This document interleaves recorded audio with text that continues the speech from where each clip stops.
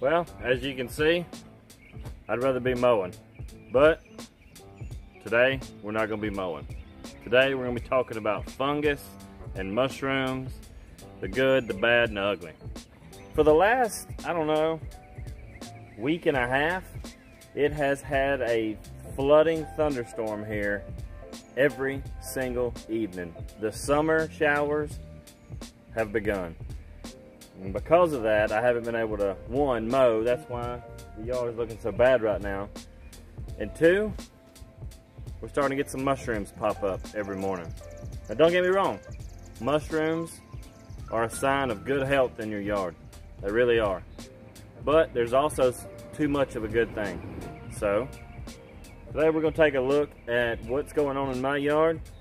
Maybe we can identify some problems in your yard and get a fix and a prevention for those funguses and keep your lawn from looking like mine is. So turn the camera around and take a look. When I get up and I come out here, there are mushrooms everywhere. In the morning, they're white, but in the evening or daytime when the sun comes out, the UV rays start hitting it and they start turning brown. But I'll show you a couple of them right now. Here we go right here. Now in the morning time, these come up and they're real nice and white.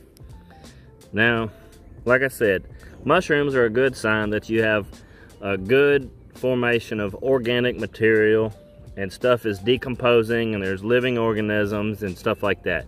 That's good. All right, but there's there's three there. There's two growing here. There's one there. There's some here. The sun's starting to dry these up. You can see them. Like I said, there's always such thing as too much of a good thing. So let's take a look at some brown spot and some dollar spot that I have in the yard. Here is some dollar spot. See, get it close right here, you can see healthy grass. And then you get into this area, and there's my finger for a size comparison. You get into some dollar spots, and it's the size of a silver dollar. There's one, here's one. Uh, we move over, there's some right there. Over a little bit further. And there's some right there. Here's a spot here.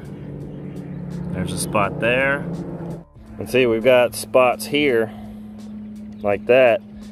That is either a brown patch or that could also be from some of the uh, the grubs that we were killing off.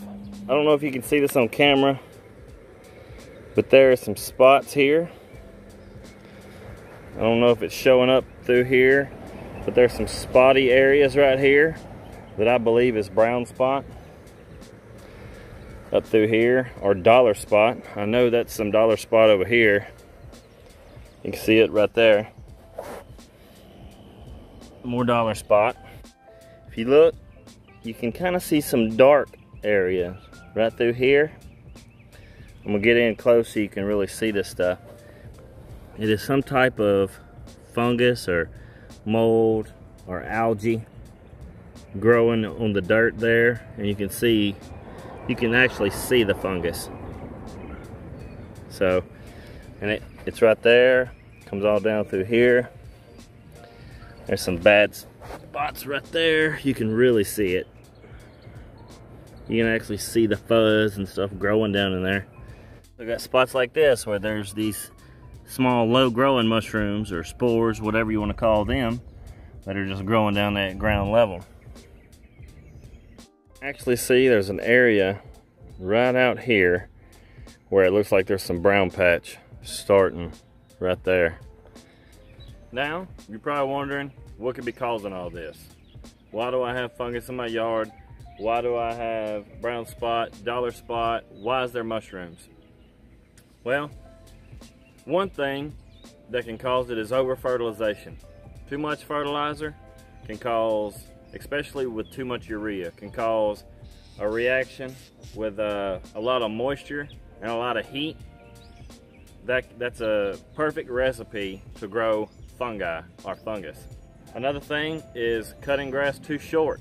Cutting grass too short can cause grass to be weak and more susceptible to diseases because cutting short means cutting frequent and leaves your grass blade open to disease because of it bleeding once it's been cut. it being too long creates the same situation we are talking about before. It gets long, it creates a mat, it gets hot down in there, the sun hits it, it's a shaded area at the bottom, the sun is not getting directly to the soil, the UV rays cannot kill the bacteria and the fungus, therefore it breeds more fungus and more spores. So, the reason I have it, well, I was cutting it kind of short, but I'm almost 100% positive the reason that I have it is because we got 700 inches of rain in a matter of a week and a half. Maybe not that many inches, but we still got a lot of rain every single day, and a lot of the days were overcast. So the rain from the day before wasn't able to dry up. So now, what do we do about it? All right, so this is what we're gonna be putting out today. This is uh, a fungus control for lawns by BioAdvanced. It says it cures and prevents common lawn diseases. It'll work on yards and lawns. It says up here at the top of the bag, treats up to 5,000 square feet. Now, today, what we've noticed is exactly what this is, is made for. Common lawn diseases. We got mushrooms, dollar spot, brown patch. That's what we see, that's what we got. I'm sure it treats more stuff. Uh, I'm not a super, super technical guy, but I do know that the active ingredient in these in this uh, fungicide is propiconazole. I think that's how it's pronounced. I could be wrong. You know what I'm saying. And today, we're gonna be putting this out with my Sta-Green spreader. We're gonna put out one and a half bags on this area here. This is 7,500 square feet. So it's gonna take about a bag and a half for this area here. What I like to do is put my spreader on a low setting. I know about how much my spreader will put out and how many passes I gotta make. So I'll put my spreader on a low setting and I'll go north and south and east and west, make sure we get good coverage on here. And uh, let's get this loaded in the spreader and start putting it out.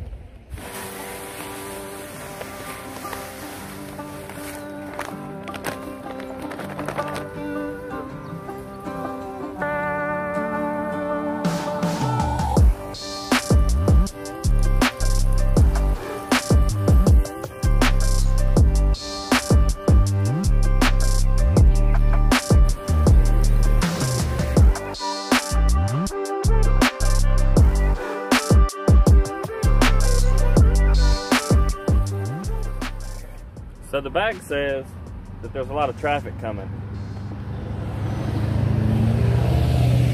So the bag says that for preventative fungus control, to put it out at a rate of uh, two and a half pounds per thousand square feet. And to cure any fungus problems that you might have, put it out at three and a half pounds per thousand square feet.